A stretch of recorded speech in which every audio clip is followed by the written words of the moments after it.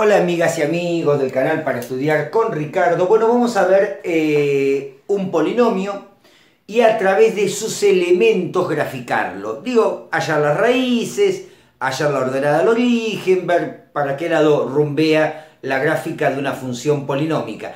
Para eso vamos a utilizar en primer lugar el teorema de Gauss. El teorema de Gauss trata con los divisores del término independiente. Ahora vos fíjate que el coeficiente principal es 1. Esto a nosotros nos da una ventaja, que el coeficiente principal sea 1. ¿Por qué? Porque trabajamos nada más que con los divisores del término independiente.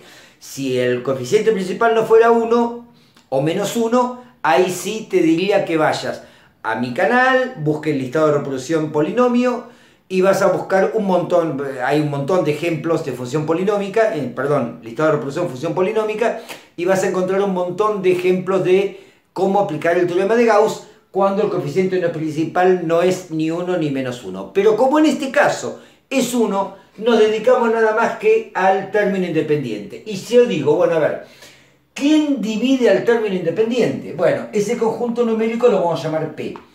Y está formado, a ver, ¿quién divide el 20? El 1 y el menos 1. ¿Quién más? El 2 y el menos 2, ¿no? ¿Quién más? El 3 no, el 4 sí. El 4, también el 5, positivo y negativo, ¿no? El 6 no, el 7 no, el 10, positivo y negativo. Y luego eh, el 20, eh, positivo y negativo. Bueno, ahora, siendo el coeficiente principal 1, acá tenés las posibles raíces del polinomio. Por lo menos podemos encontrar una de ellas por Ruffini, una. Porque como si este polinomio tiene tres raíces racionales. ¿eh?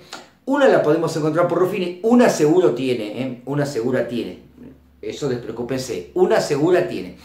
Eh, puede ser que otras dos no tenga, pero una segura tiene. Y la que tiene la podemos encontrar por Ruffini haciendo muy fácil, porque, mira, vos elegís un número, si el resto de Ruffini te da cero, ese número es raíz de la función polinómica. A ver, hagamos el Ruffini entonces. Pongamos 1 para el x cubo, 2 para el x cuadrado, menos 19 para la x y menos 20. Y empecemos a probar. Probemos con 1, ¿eh? el primer número, más 1.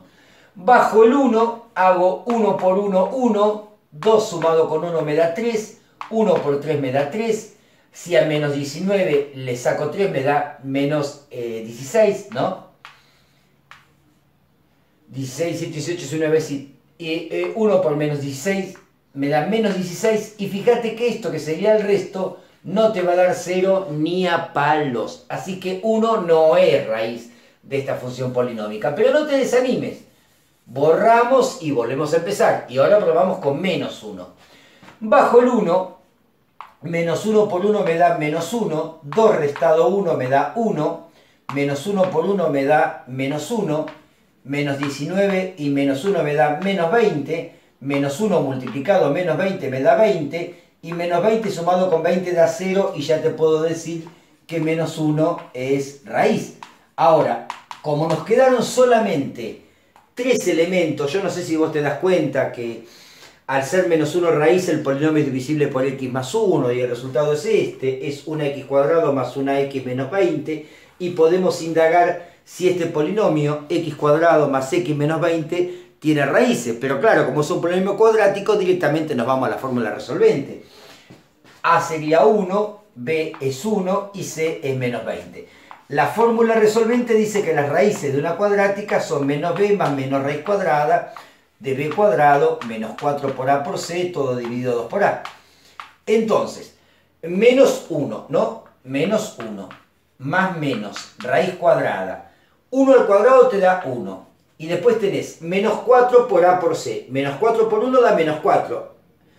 Menos 4 eh, por menos 20 me da más 80. Más 80, ¿eh? Menos por menos más. Dividido 2 por A que es 2 por 1, 2.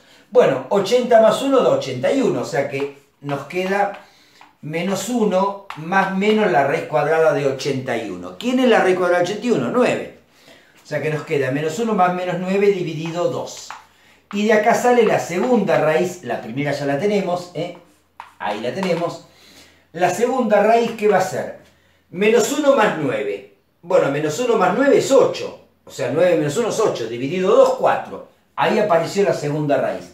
La segunda raíz es 4. Y vamos a la tercera raíz. Cuando usamos el menos.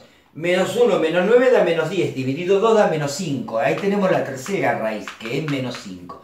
Bueno, ya tenemos las raíces y te digo, ya tenemos la materia prima como para delinear la gráfica, porque vos fíjate que yo ya sé dónde la función corta el eje de las x. Todas las raíces son simples. ¿Eso qué significa? Que al eje x se lo va a atravesar, ¿eh? en, en esos valores, la función va a atravesar al eje x y podríamos saber dónde va a atravesar al eje de la Y. Eso se llama ordenada al origen y se da cuando x vale 0. Siempre que se corta el eje Y es porque x vale 0. Eso lo llamamos f de 0, claro. Este término da 0, este término da 0, este término da 0, ¿cuánto me da? Menos 20. Gente linda, no necesitamos más para delinear una gráfica aproximada, ¿eh? aproximada ¿eh? de la función el comportamiento en el plano XY de la función. No te creas que vamos a una gráfica exacta porque no es posible con estos datos. Bueno, eh, sabemos que al eje X la función lo corta en menos 1, después tenemos menos 2, menos 3, menos 4, menos 5, por acá pasa, por acá pasa, y después la corta en 4. 1, 2, 3, 4, por acá pasa. Ahí tenemos los tres puntos por donde la función corta al eje de las X.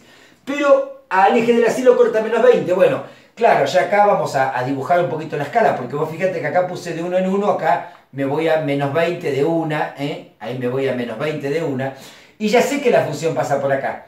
¿Y de acá dónde tendrá que ir? Y tendrá que ir acá, y de acá ya no puede volver a bajar, porque no hay más raíces. Y de acá se tendrá que ir para allá, y en algún momento pegar la vuelta, y ahí tenemos delineada la gráfica aproximada de la función. Gente linda, Espero que haya quedado claro. Dudas, preguntas, consultas. Listado de reproducción función polinómica. ¿Sabés que vas a encontrar? Cientos de ejemplos. Nos vemos en el próximo video. Chau, chau.